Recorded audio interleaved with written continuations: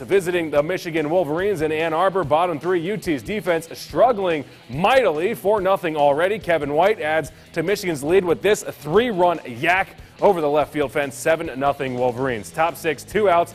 Runners in scoring position for the Rockets, and Tyler Baar can bring them in.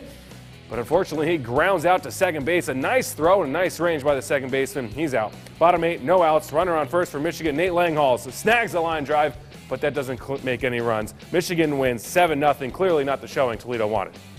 One of our things with a pitching standpoint is we need to go out and throw strikes. You know, and we put too many guys on base early in the game, and you know, we're playing against a good team like Michigan. They're going to take advantage of it, and um, that, that's basically what happened in the first couple innings. They had seven runs on three hits. You know, and, and uh, we can't afford to do that, and and we'll have to be better the next time out.